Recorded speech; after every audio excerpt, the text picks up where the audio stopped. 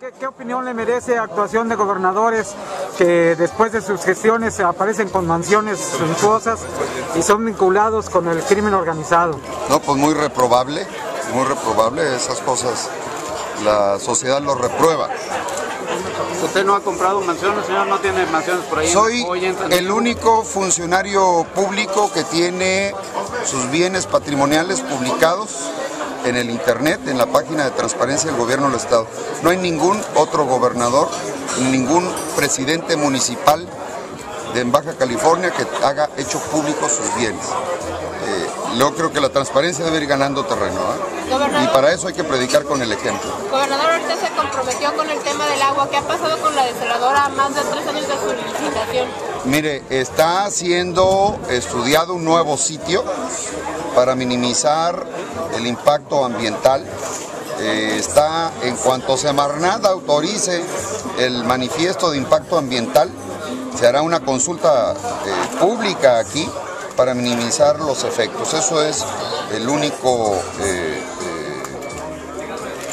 pendiente o el pendiente más importante que se tiene para iniciar los trabajos. Pero los diseños ejecutivos están ya listos, la inversión está ya lista, la constitución del crédito, la aportación del gobierno federal a fondo perdido está ya eh, listo, solamente falta la autorización del impacto ambiental.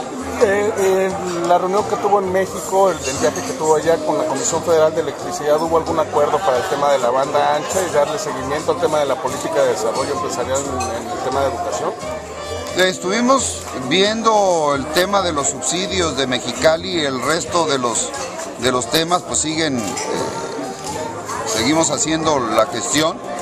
El tema de, de banda ancha lo tratamos con SCT, nosotros esperamos que sea autorizado a la brevedad para poder disponer de esa, ya en, en el municipio de Ensenada se está disponiendo en Mexicali de esa gran capacidad que tiene CFE y que la podemos utilizar otras dependencias porque es un bien público a nuestro juicio y debe ser compartido con eh, las instituciones del Estado y del municipio.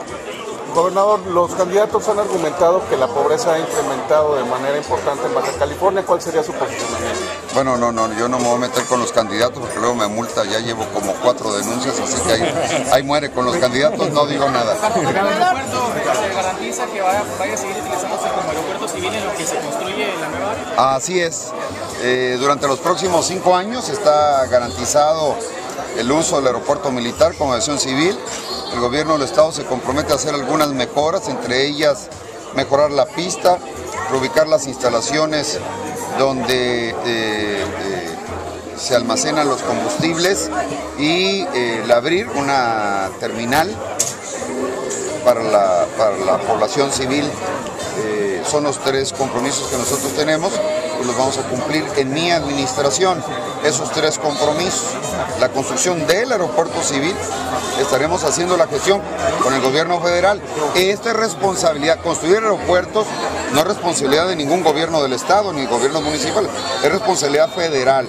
Y eso ya lo hemos platicado con el secretario de SCT Deberá tocarle a la nueva administración, gane quien gane, la construcción de un nuevo aeropuerto civil y nosotros estaremos haciendo los estudios y las gestiones necesarias hasta donde llegue nuestra responsabilidad. Lozada dijo que iba de, de adultos mayores en, en el centro de gobierno. Están pidiendo que ya se, eh, se, este, apruebe el reglamento, que ya hay recursos para entregar este, las- los apoyos mensuales, pero pues que no se ha avanzado en el, en el tema reglamentario. No, pues mire, pues estamos en elecciones y todo se va a ver así, este, yo no, no, no, no, no, no le voy a mover en ese sentido, ¿no? Podemos esperarnos un poquitito. A ver, yo, última pregunta. Última pregunta, adelante.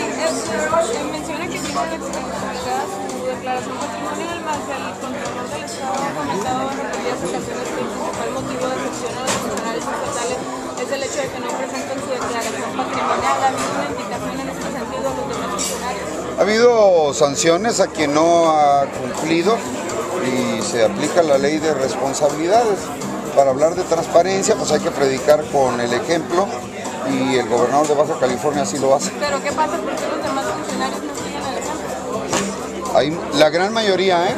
no, no- ignoro cuántos este, han sido sancionados, pero el Contralor le puede dar la información.